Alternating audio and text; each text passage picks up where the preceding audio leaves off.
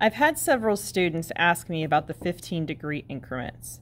First, I want to point off that when you number your 15 degree increments, you're going in order from 0 to 180.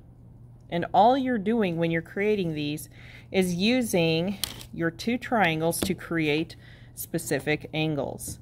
So we all know that if we line up a right angle, we have a 90 degree angle. Okay, but what they don't think about is that you can use the triangle in both directions to get specific measurements. So I can bring it out to the left, flip it over, and make sure all of your points start at the center point A. Okay. Now we're going to see what measurements I can get over here. Going the opposite direction. I apologize, my desk is creaking.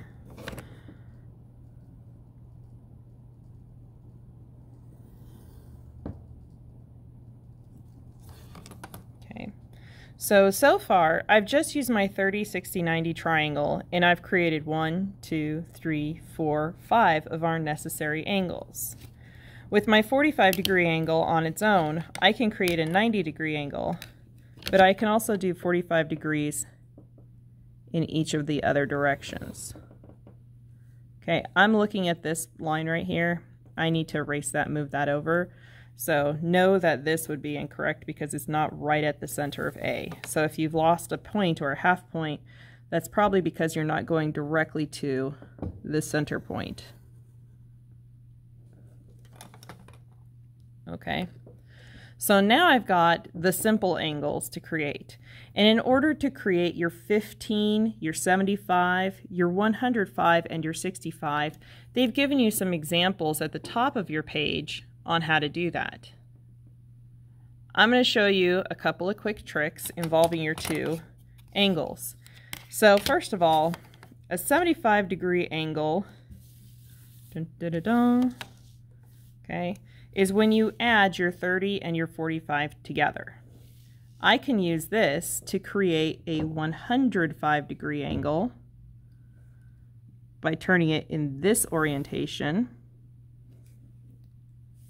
and if I flip the whole situation over that 90 degree angle, now I'm going at a 75 degree angle.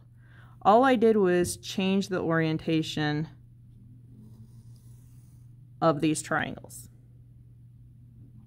Additionally, if I turn everything at this angle, okay, so I just turned everything 90 degrees, when I have it sitting down on top of my, um, I'm losing my mouth words. When I have it sitting on top of my parallel bar, okay, I've now created a, 50, a 165 degree angle, or you could look at it as a 15 degree angle.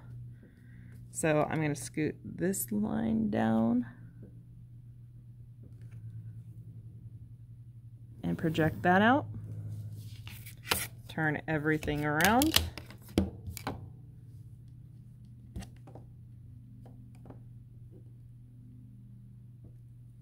And bring that up. Okay, so like I said, I'm going to go back and I'm going to erase this line right here and try it again so that the line is starting at the very center of point A. And then I'm very nicely, neatly going to number is from zero degrees all the way over to 180.